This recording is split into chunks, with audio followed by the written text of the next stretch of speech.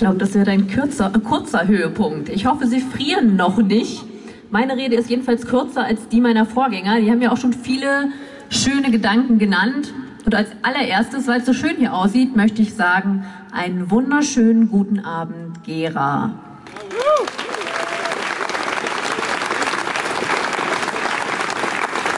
Ich weiß nicht, wer von Ihnen heute Morgen den Fehler gemacht hat, die Zeitung zu lesen. Ich habe den Fehler gemacht.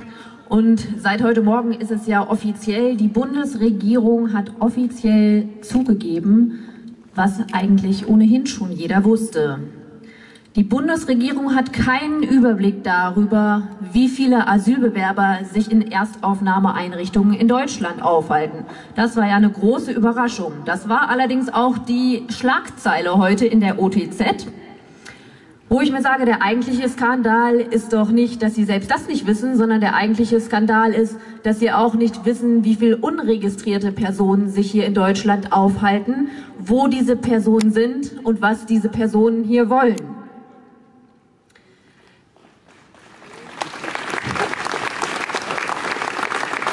Die Bundesregierung hat vollkommen die Kontrolle verloren über alles und jeden, kann man sagen. Und dann wundern sich die Politiker, warum die Menschen hier auf die Straße gehen. Ich sage, wir gehen auf die Straße, weil wir uns Sorgen machen um unsere Sicherheit. Und weil die Bundesregierung unsere Sicherheit nicht mehr gewährleistet.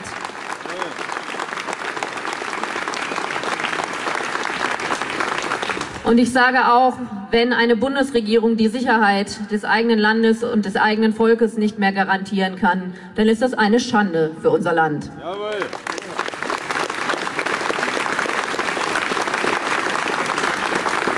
Des Weiteren war heute interessant, ist in der Zeitung der Personalrat des Bundesamtes für Migration und Flüchtlinge. Der beschwert sich. Er sagt nämlich, dass bei der Bearbeitung von Asylanträgen, speziell von Syrern und Eritreern, kein rechtsstaatliches Verfahren mehr gewährleistet sei. Der Personalrat sagt, dass das Bundesamt für Migration und Flüchtlinge auf eine Identitätsprüfung verzichtet. Und, das möchte ich auch ganz gerne äh, wörtlich zitieren, der Personalrat sagt, es ist davon auszugehen, dass es einen, Zitat, hohen Anteil von Asylsuchenden gibt, die eine falsche Identität angeben, um eine Bleibeperspektive mit der Möglichkeit des Familiennachzuges zu erhalten. Ja, ist richtig, dass Sie das so laut sagen. Dazu muss man wissen, dass der Bundesinnenminister de Maizière schon vor Wochen geschätzt hat, dass 30 Prozent der Asylsuchenden, die sich als Syrer ausgeben, gar keine seien.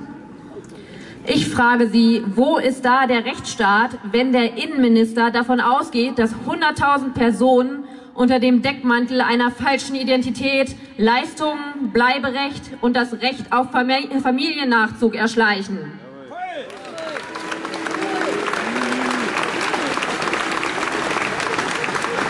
Und der Innenminister unternimmt dagegen nichts. Er weiß es und macht nichts. Und da kann man nur sagen, er als Innenminister macht sich selbst und den Staat zum Gehilfen von Betrügern. Ganz genau.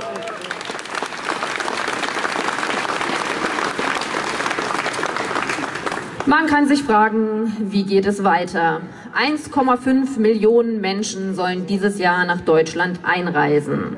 Und statistisch gesehen sind zwei Drittel davon irgendwann, wenn sie hier angekommen sind, dann abgelehnte Asylbewerber. Also ein Drittel kriegt normalerweise Asyl statistisch gesehen und zwei Drittel eben nicht. Und das heißt dann natürlich, diese zwei Drittel sollten eigentlich so schnell wie möglich wieder abgeschoben werden. Aber machen wir uns doch nichts vor, diese Menschen sind dem Ruf von Frau Merkel gefolgt und die kommen nicht, um wieder abgeschoben zu werden, sondern die kommen, um zu bleiben.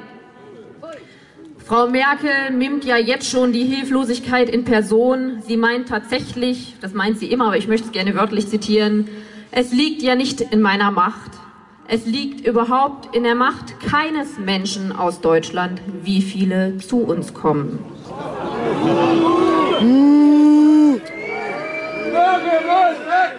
Merkel muss weg! Merkel muss weg! Merkel muss weg! Merkel muss weg! Merkel muss weg! Merkel muss weg! Merkel muss weg! Merkel muss weg!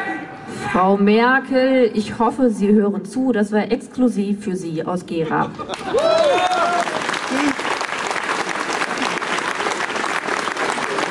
Und genauso wie sie diesen Unsinn jetzt von sich gibt und wie sie uns jetzt weismachen will, dass sie als Bundeskanzlerin in Deutschland nicht die Macht hätte, unsere Grenzen zu schließen, so wird sie uns auch in ein paar Monaten erzählen, es liegt ja nicht in meiner Macht. Es liegt überhaupt in der Macht keines Menschen aus Deutschland, dass Menschen abgeschoben werden. Die Kaltblütigkeit, mit der sich die Merkel-Regierung über Recht und Gesetz hinwegsetzt, ist beispiellos in Europa. Und die Gedankenlosigkeit,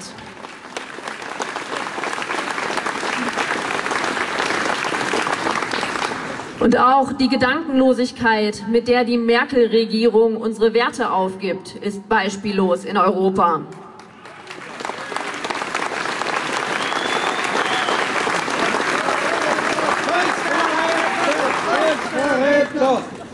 Und im Anschluss an meine Vorredner, die diese Forderung schon aufgestellt haben, kann ich nur sagen, Frau Merkel, treten Sie zurück. Das ist offenbar das Einzige, was Sie für uns noch schaffen können. Jawohl.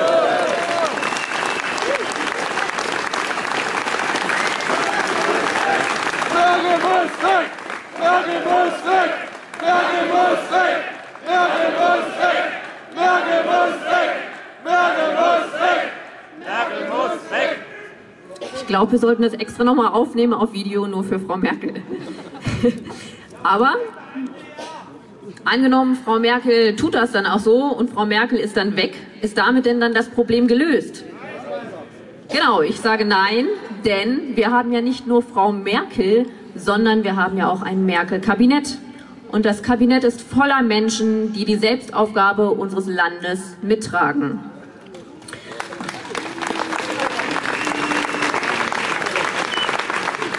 Was soll es uns bringen, wenn ein Herr Schäuble Bundeskanzler wird? Ein Herr Schäuble, der Milliarden deutscher Steuergelder wieder und immer wieder nach Griechenland auskippt. Ein Herr Schäuble, der jetzt mit der schwarzen Null den Haushalt plant, obwohl er genau weiß, was für Belastungen durch die Asylbewerberkrise noch auf uns zukommen werden. Und ein Herr Schäuble, der die Asylbewerberströme mit einer Lawine vergleicht und damit so tut, als ob die Bundesregierung nichts für dieses Desaster können würde. Ja, er kennt ja Schäuble sich ja aus. Und dazu sage ich, Frau Merkel, nehmen Sie Ihr Kabinett doch direkt mit. Wir brauchen Sie hier nicht.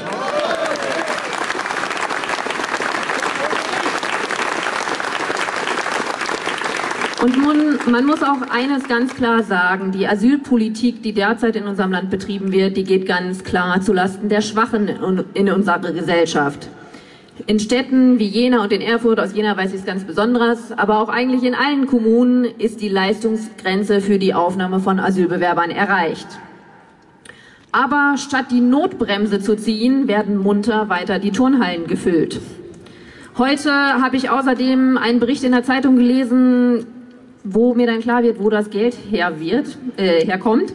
Denn da wurde berichtet von einer Schule in Blankenhain, wo jetzt klassenweise der Unterricht ausfällt wegen Lehrermangels. Da kann man dann sehen, wo das Geld abgezogen wird und muss an anderer Stelle für fremde Menschen wieder reinzupumpen.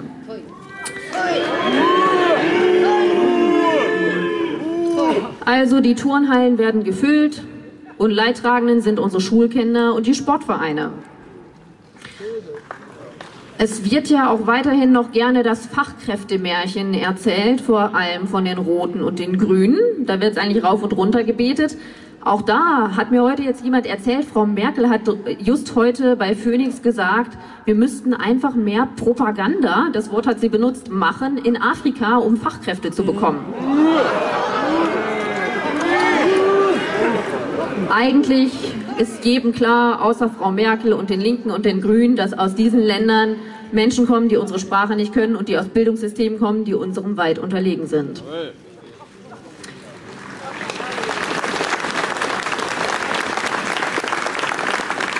Ich habe auf der vorletzten Demo, war es glaube ich in Erfurt, schon mal was zu den Analphabetenraten in den Herkunftsländern der Asylbewerber gesagt und ich sage es gerne noch einmal. Kosovo hat eine Analphabetenrate von 8 Prozent. Der Irak hat eine Analphabetenrate von 20 Prozent. Pakistan hat eine Analphabetenrate von 42 Prozent. Und Afghanistan hat eine Analphabetenrate von 61 Prozent. Wir können und wir wollen unseren Fachkräftebedarf nicht aus diesen Ländern decken.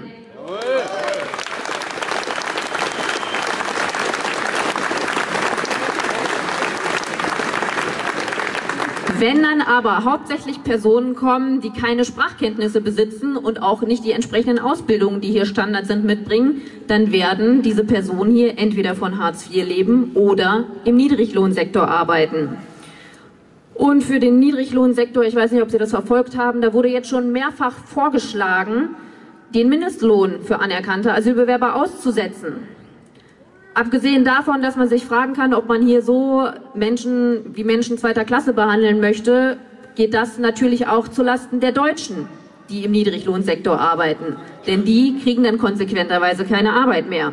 Und deswegen ist es auch ein gutes Recht dieser Menschen, sich jetzt zu sorgen um ihre finanzielle und berufliche Zukunft.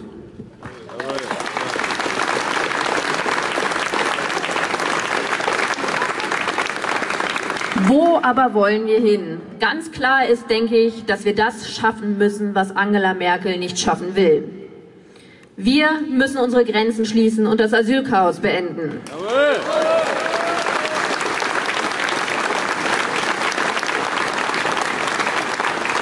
Wir wollen zu dem zurückkehren, was uns Deutschen wichtig ist, nämlich zu Recht und Ordnung in unserem Land. Jawohl.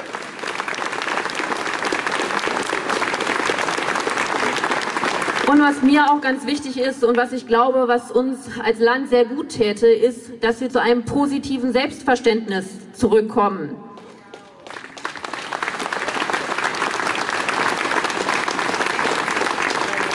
Und ich denke, wir können uns da ein Beispiel an unserer Jugend nehmen. Ich weiß nicht, ob Sie es wussten, mir war es neu.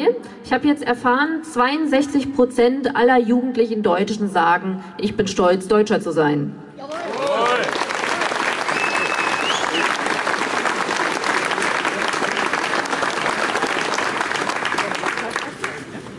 Wir alle sind hier, weil wir unser Vaterland lieben. Und hier oben sieht man ja schon einen kleinen Ausblick. Grenzen sichern, Asylchaos beenden, 51 Prozent AfD, 100 Prozent Abschiebung abgelehnter Asylbewerber.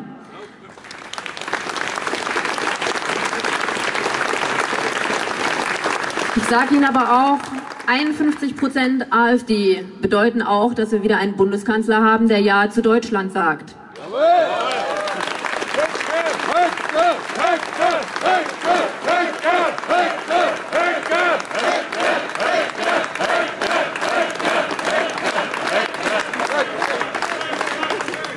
Glaube, ich mache lieber ein Video für Björn als für Frau Merkel. Und damit möchte ich auch eigentlich zum Abschluss kommen. Denn ich glaube tatsächlich, mit 51 Prozent AfD werden wir einen Bundeskanzler haben, der wieder sagt, ich bin stolz, Deutscher zu sein und das ist auch gut so. Dankeschön, Gera.